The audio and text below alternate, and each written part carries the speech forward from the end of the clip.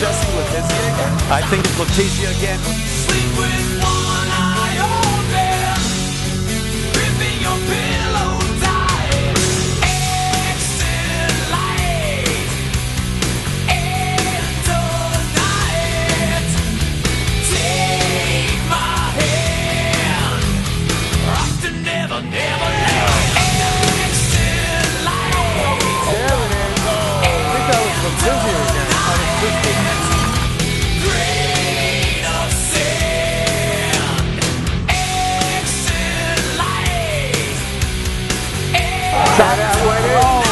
Know who that was? Yes, who?